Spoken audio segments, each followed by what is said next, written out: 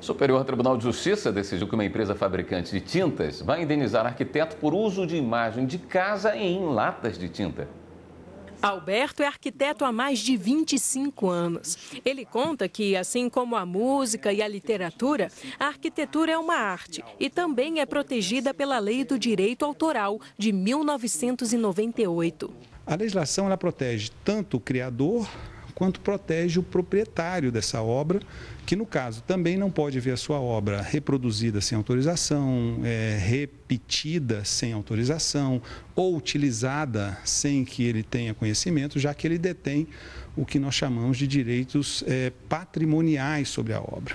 O que o arquiteto detém, qualquer criador detém, é o direito moral que é ligado à criação, à concepção e ao usufruto dos benefícios que isso traz. A legislação garante que os projetos, esboços e obras plásticas de engenheiros, topógrafos, paisagistas e arquitetos pertençam aos autores.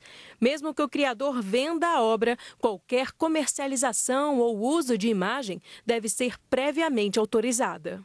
Recentemente, os ministros da terceira turma do STJ condenaram uma empresa fabricante de tintas a pagar mais de 30 mil reais em indenização a um arquiteto.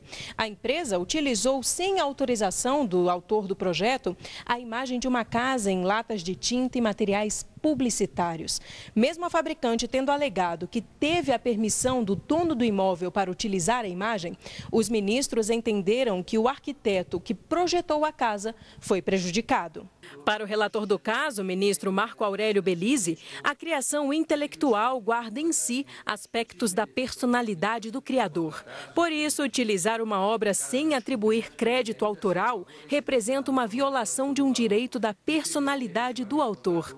Este advogado explica que a lei prevê proteção às obras, mesmo que elas não estejam registradas. A própria lei, ela, ela prevê essa questão do arquivamento, né, do, da, das suas composições, de textos, poemas, literaturas. Então, assim, até mesmo meios públicos, né? Por exemplo, a questão de um livro pode ser publicado e até lá você tem todo um, um, um, um processo para demonstrar, né? Mas se caso não houver o, o arquivamento, você é, demonstrando meios materiais de que a prova realmente nasceu com você, né? então você tem meios para brigar na, na, no Poder Judiciário.